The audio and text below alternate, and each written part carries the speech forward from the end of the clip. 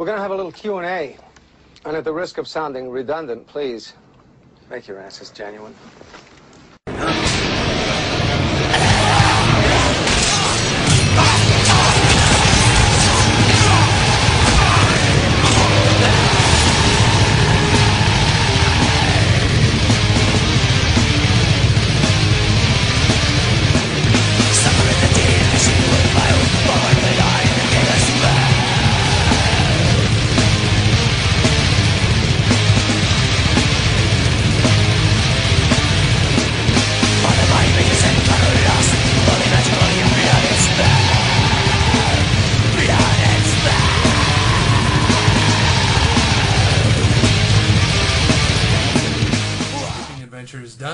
Back with uh, Got a Death Wish. No. Yep. Yes, Got a Death Wish. Here we go. Where were we? Number 10. Why do you think everyone looks down on horror? Some of these retarded critics don't seem to understand it takes a lot of work to make a horror film. Well, From your lips to God's ears, brother. They do not understand how hard it is to make a horror movie. well, from Kane Hodder, I mean not Kane Hodder, from Tom Savini's own mouth. He once said, I believe it was Tom Savini, horror is just a little notch above porn. We've said that before on here. And normal society don't want to see all that shit. They don't want to acknowledge that there's killers and people die. They want everything to be Disney. I once had a girl tell me one time, I can't remember who the fuck it was, it was years ago. Why do you why are you so obsessed with watching movies where people get hurt? That's bad for mankind. I just started laughing my ass off. Couldn't even fucking What's it. bad for mankind is ignoring that people get hurt. All right. Me and my brother and his friends were in a debate. Were you guys master debating? I'm just kidding. They say that Hellraiser is a slasher, but I say it isn't. Yes, it has slasher elements, but to me it's more deep than that. Well, Hellraiser 1 and 2, which are just classics. Such an amazing story. Do you consider Hellraiser a slasher? Nope. I Yeah, consider I it horror, but it's definitely not. It's not a stalk and slash. It, it's there's just too much more to it. Yep. Religious aspects and angles and stuff Yeah, like that. I mean, there's the mystical angle. There's the, you know, the like you said, the the religious, the satanic element. It, it's way too deep just as a slasher. it's you know, a slasher. Prowler, Maniac, Halloween, Friday the Thirteenth, Texas Chainsaw, Nightmare on Elm Street, Nightmare, um, Slumber Party Massacre, Hatchet. All of those are stalk and slash. Those are slashers because it's one person up against many. And This Hellraiser uses the forces of hell at his disposal. So yeah, it's way more. If Psycho never happened, do you think Halloween would have? Yes. Yes, I do too. Because people have demented minds, and horror Yeah. had, horror in general had been around way before Psycho. Mm-hmm. Psycho definitely had an influence, but I don't think it was the main drive because it, it all started with a, a babysitter killer concept, which really has nothing to do with Psycho, if you think about it. Yeah, and to God of Death Wish, you message me, a message message, not a message under the videos, but message me on the Psychopath channel, and I will give you a book to fucking check out, and it will teach you a lot about slasher films, bro. Yeah, sure. Because we are community servants. Yes, we are. It is a. It's it's our it's the cross we bear. It really is. This is true. All right, here we go. Some more killer questions for that asses. And it's gotta be Raider Nation Cali. Over hey yo. like like fucking. Uh, oh, that's when me and him were talking. Here we Scott go. Scott Hall. Yep, Scott Hall. Hey, yo. In Saved by the Bell, would you be, rather be Zach Morris or AC Slater? Gotta, Gotta pick, pick one. one. Well, I would rather be Zach Morris. Oh, that ass. Yeah, he had Tiffany's, Amber Thiessen. Yeah. Okay, and on to the next part of the question. Out of Kelly, Lisa, and Jesse, who would you go steady with? Who would you Fuck. go on the side? And who would you make your best bud? Okay, well, I'd go Which steady one's with Lisa? I'd go steady with Kelly. She's the black one, right? Lisa was black. Okay, yeah, that's the one. Mm-hmm. I'd I go steady with Kelly. I'd um, fuck Lisa on the side. And I'd make Jessie Spano my best friend because she was kind of lesbianish anyway. Yeah. what he said. That was good. Saved by the Bell, old school yeah, stuff that was there. that was some great ones. Here we go. All right. Do you guys wear men's fragrances? If so, what's your go-to fragrance and your special occasion out with your women fragrance? I don't know what the hell that is talking about. He's talking about what would you wear to work and what would you wear on a fucking five star date. Ah, okay. All right. Well, here's a little secret for you guys right here. When you go on a date, put on, you know, your favorite cologne, if your you will. Eau de toilette. put that on. Ah, but only put it a light base. Then, this is going to be crazy, but take it from the experts. Then, spray on women's perfume on top of it. This is true. Not only does it disarm the girl because there is a feminine uh, Scent in the air. scent in the air, there you go, aroma, if you will. But number two, it also puts on the illusion that there may be some competition in which they have to step up their game, if you know what I'm saying, to where they got to get your attention because there could be other contestants. But he wants to know what you wear. He don't want to know your schemes and scams and That's my scams and filth, schemes. florins and That's- filths. That's my filth, floor, and filth. I do the old school Old Spice because it reminds them of their dad. and every chick wants to bone someone like their dad. Yeah. So I do the Old Spice base, and then whoever the slut of the week is, Paris Hilton or whatever nasty hoe has their fragrance out, I put that over it, and I'm telling you, got a 104 kill count over here. Shit works. there you go, Raider Nation. Okay. All I gotta say is the daytime go-to fragrance is Dior for men, and the take your lady out on a date is Dolce Gabbana, baby. I got a lot of. There you go. There you go, baby. That's how we get down and dirty. That's how we do this shit. All right, let's see. We got uh, RBR Short Films 13. Hope you guys have a great New Year. No, I hope you have a great New Year, man. Yeah. Don't drink and drive either. No. Are you guys a fan of suspense movies? If so, what is your favorite? hmm. Suspense. I don't know. I'm sure I am. I'm sure, yeah. I, hmm. I'm sure I am. I don't know. I mean, um, if Silence of the Lambs is considered a suspense, I w- that would probably be the one that stands out the most. I like Pacific Heights with Michael Keaton, where he's the psycho fucking That was a good landlord. one. That was a good one. When the chick That's goes, old school, man. Hell yeah. When the chick goes out into the garage, is all in the fucking car, all chilling there and shit, dude. Yeah. That's bad shit. I'm gonna go with that one Me too. and my That one grandma, we watched bad. that when I was a little kid. I was like, oh shit. She was too. She was like, what the fuck? uh, All right. Do you guys have a Blu-ray player? Yes, sir. What is your favorite Blu-ray film? And do you guys ever go on BD Live? I don't go on BD Live, and favorite Blu-ray films would be fuck.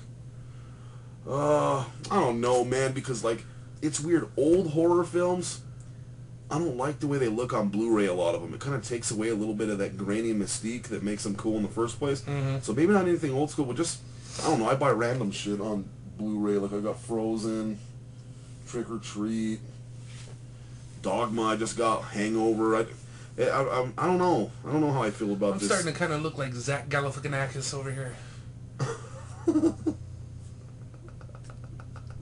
oh shit. You ladies love it. RBR short films. I'm Good gonna question. die gray so I can have Sean Connery look. He wants to start a MacBook uh, pitch for us. So you know what I would do if I were you? I would message that on our page, like on a video or something. See how many killers you can get behind you on that, man. See if you can make that happen for us. Again? Again, the Route 66 killer, 666 devil. Killer questions for that big black booty. oh shit. Who is your favorite porn star? Mine is the hot as hell Tori Black. I have no idea. Ah, God, all of them. All of them. They're just all great. I love every one of them. I'm glad that there's a father somewhere crying himself to sleep because his little girl's a porn star. I just love them all, dude. I gotta be honest with you. But I do come from the old school. Now, I could say Jenna Jameson, but that's, you know, that's fucking cliche as fuck. And she looks like Michael Jackson now. Yeah, she does. Judge from those posters we have at work. I'm like, what happened to the bad plastic surgery, man? Yeah, she does. Um, I don't know. There's a lot, man. Fuck. Was there ever a horror movie that scared you? Like a certain scene, I remember back when the first time I saw Nightmare on Elm Street, when I was five years old, that bathtub scene with Freddy's hand scared the shit out of me. I would not take a bath or a shower for five months. and when my mom tried, I threw a fit. It scared me that bad. All of Halloween 1 scared the shit out of me that bad. Halloween 2 still cannot spend the night in the hospital, I man. slept All on- because of Halloween 2. I slept under my bed for like a year or two because of Halloween 1. Well, Scared the shit out of me. The whole movie. Like, that motherfucker ain't gonna get me. I'm sleeping under my bed. we all know the Hellraiser re-rape is happening. If you were in charge and had to do it, what would you do? Uh, Well, I'd change it into a sequel of Hell World. That'd be the first thing I'd do. there you go. I'd try to get fired. Because I don't want to do a re-rape, man. Yeah. All right, who is the greatest horror heroine of all time? Nancy from the OG Nightmare, Laurie from OG Halloween, Christy from Hellraiser, Alice from the first Friday the 13th. Lori. Lori. Lori. Yeah. Nancy got whacked in the third film. Right. Alice got whacked in the second. Christy just up and disappeared. Of course, Laurie did get whacked in eight. But it took 20 years. took 23 years, yeah. Yep. Yeah, 23 years to whack her. yeah I'm going to go with Laurie. Took 20 years for him to find her ass. I know. And then another three after that to kill her. Yeah. Top three Cenobites. Chatterbox, CD, and uh, uh, Torch. Torch. No, not Torch. Doc. Well, Doc's bad. Mine would be Doc, Chatterer, no, Doc, Dr. Channard, and Butterball. I keep forgetting about him as a Cenobite. Anyway, Butterball's the man. Butterball's badass. He's Yeah. a bad fat dude. If Pinhead came to you and wants to make you, wants to take you back to hell and make your suffering legendary, what would you do to get out of it? Whatever you needed. Find Kirsty, Kirsty Cotton for his ass. There you go. Be like, I'll offer you that. You I'll let our asses you a go. wicked ass trade, brother. Pinhead versus Chrome Skull. Who wins? Um, I'd want Chrome Skull to win, I but I don't think Chrome he would Skull want. win, I but don't think he would win has the uh, no. because there's like ten on one.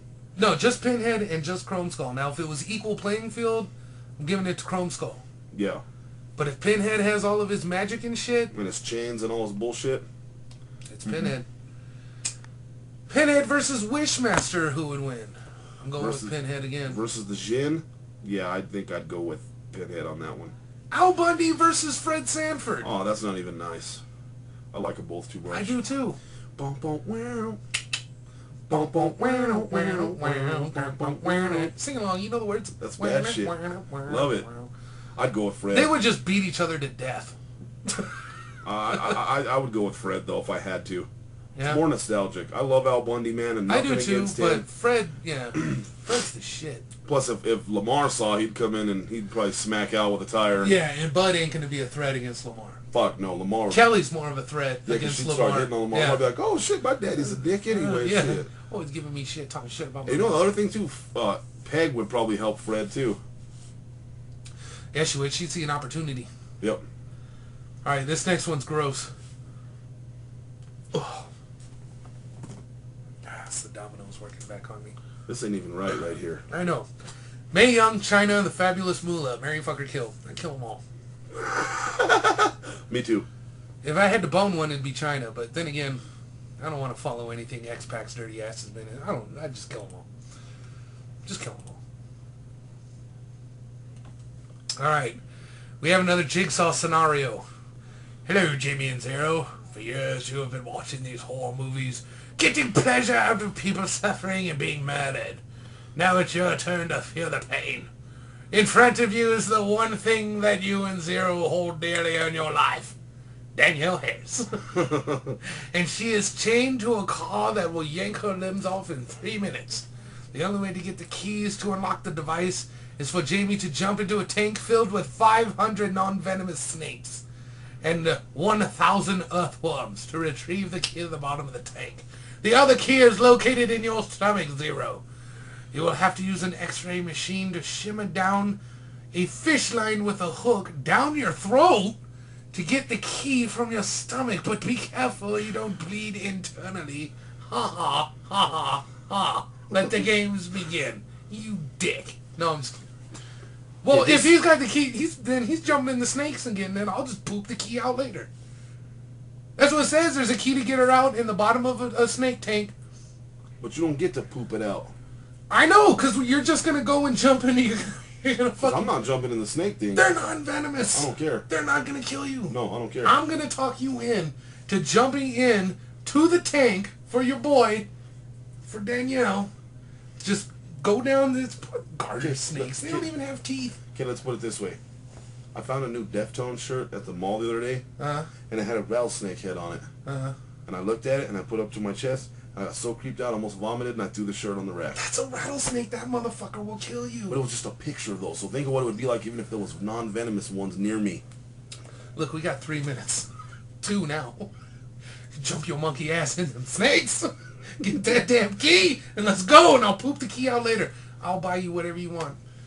It'll be Danielle's money, but I'll buy you whatever you want. Okay, I could do that then. All right. I would I would throw the earthworms all over the non-venomous snakes. There you go. Because there's a thousand earthworms, Yeah. earthworms, And and, only 500 500 snakes. snakes. Right. So I just start throwing them at the snakes. Yeah. Or just think they're all worms.